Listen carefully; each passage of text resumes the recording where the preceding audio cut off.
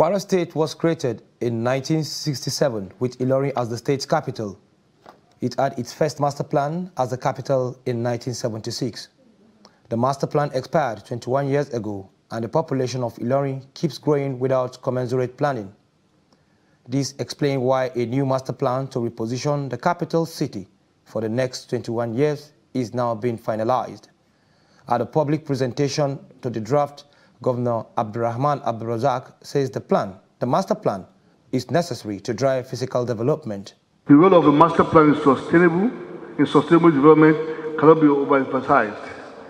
It's what dictates the pattern of fiscal development in any society with serious consequences for sustainable living. In the draft master plan, Ilorin, the capital city, is expected to have five new urban expansion and satellite areas in order to decongest the metropolis.